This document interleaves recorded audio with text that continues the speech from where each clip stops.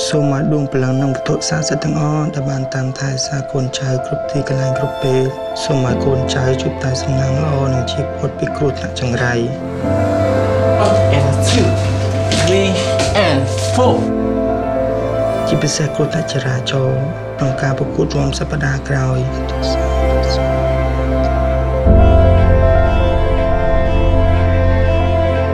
ខ្ញុំឮគេថាគេចង់អភិវឌ្ឍក្រុងឲ្យបាន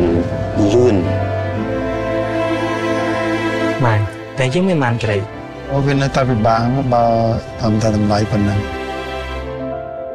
តែខ្ញុំមានអារម្មណ៍ថាអ្នកនៅក្នុងអគារហ្នឹងគឺមានសំណាងណាស់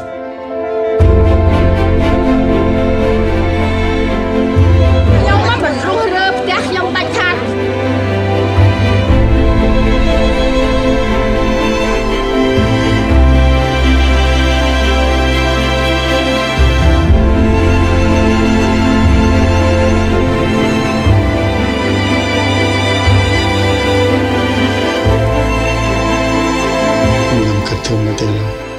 បើគ្មានសិទ្ធិអីសម្រេចឲ្យនរណានរណាផង